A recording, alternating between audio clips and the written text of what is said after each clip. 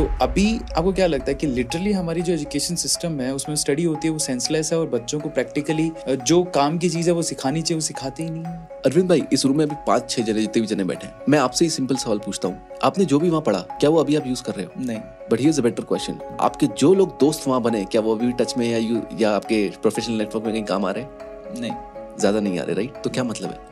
Right ना education काम का ना नेटवर्क काम का ना टीचर्स काम। तो मैं जा क्यों रहा हूँ? Why am I putting three four years of my potential energy peak energy वाले समय को? आप अपने पैंसठ की उम्र के साल के बिताओ चार साल मुझे कोई प्रॉब्लम नहीं पर आप अपनी पीक एनर्जी जिसमें वो बच्चा बिलीफ डेवलप करेगा जिसमें वो बच्चा अपने नए परस्पेक्टिव बनाएगा जिसमें वो बच्चा नए लोगों से मिलेगा जिसमें वो बच्चा दुनिया देखेगा उस टाइम पे उसको वहाँ क्यों डालना? Right right? और उसमें उसका अगर वो चार साल अपने बर्बाद कर दिए technically if I use a word तो आगे का तो आपने बिल्कुल ट्रैक रिकॉर्ड खराब ही कर दिया क्योंकि उसका सेल्फ एस्टीम कम हो गया सेल्फ कॉन्फिडेंस खत्म हो गया खुद से विश्वास खत्म हो गया। सुसाइड करने का थॉट सारे डिप्रेशन में बंदा चला गया डिस्ट्रैक्शन में पूरी दुनिया उसकी। तो ये आगे का तो पूरा खत्म गया और फिर जब बाहर निकला तो ऐसे माइंडसेट से निकला कि जहाँ पर उसको जॉब ढूंढनी है जिसमें करोड़ों लोग लगे हुए हैं। करेक्ट मैं लकीली खुद को मानता हूँ कि मेरा नेटवर्क पहले अच्छा रहा ये दोस्तों से जो जिनने सिखाया। और उसके बाद जो जो ये नेटवर्क था तो जब मैं कॉलेज में आया तो छह महीने के अंदर इतना इम्पैक्ट किया नहीं मेरे को क्योंकि मैं चार साल तो वो सीख रहा हूँ। और क्योंकि छह महीने बाद निकल गया वहाँ से तो मेरा माइंड सेट टूटा ही राइट तो वो जो बोलते ना you are the average of five people you hang around with आपके टिकट साइज़ पर आते हैं वापस क्योंकि इतना आसान नहीं है कि कोर्स के लिए आप दो लाख प्लस जीएसटी चार्ज करो लोग दे दें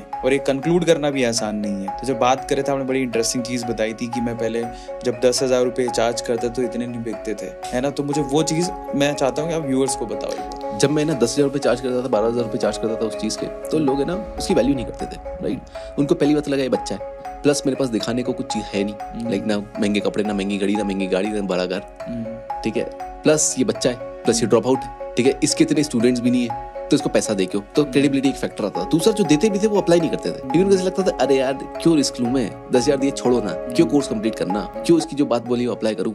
आप में रियली इम्पैक्ट क्रिएट होगा क्योंकि आपने अगर दो लाख रुपए दिए ना सर तो मैं बता रहा हूँ लोग पूरी जान लगा देंगे उस चीज़ को अप्लाई करने के लिए।